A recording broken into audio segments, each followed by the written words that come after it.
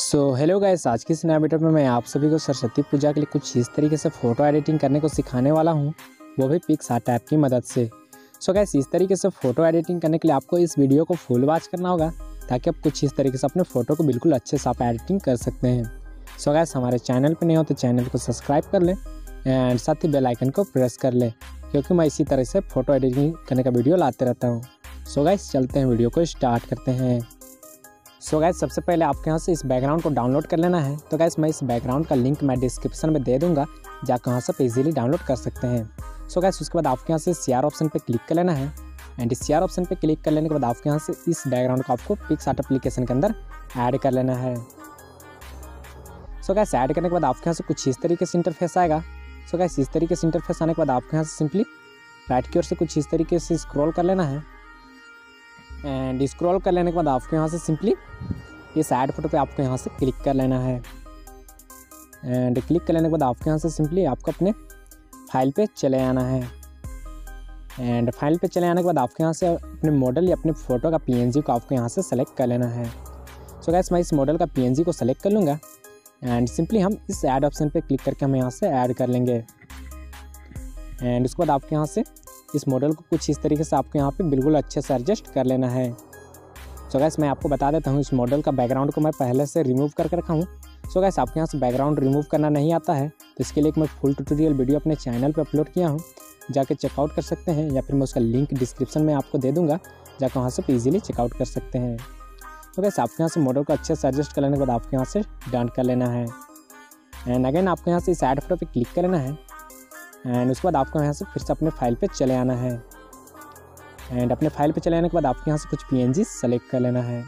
तो गाइस मैं जितना भी पीएनजी यूज़ करूँगा, वो सभी का लिंक मैं डिस्क्रिप्शन में दे दूँगा, जाके वहाँ से ईजिली डाउनलोड कर सकते हैं। तो गैस हम इस पीएनजी को यहाँ से सेलेक्ट कर लेंगे। एंड उसके बाद आपके यहाँ से इस ऐड ऑप्शन पे क्लिक करके आपके यहाँ से ऐड कर लेना है। एंड आपके यहाँ से कुछ इस तरीके से इस पीएनजी को हम नीचे की ओर बिल्कुल अच्छे से एडजस्ट कर लेंगे। कुछ इस तरीके से।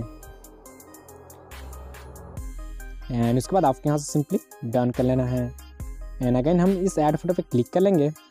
एंड क्लिक कर लेने के बाद आपके यहाँ से कुछ पीएनजी फिर से हम सेलेक्ट कर लेंगे। सो so गैस हम सबसे पहले इस पीएनजी को सेलेक्ट कर लेंगे। एंड उसके बाद आपके यहाँ से इस पीएनजी को सेलेक्ट कर लेना है। एंड आपके यहाँ से ऐड कर लेना है। एंड ऐड कर लेने के बाद आपके यहाँ से इस पीएनजी को आपको कुछ इस तरीके से यहाँ बिल्कुल अच्छे से एडजस्ट कर लेना है, कुछ इस तरीके से।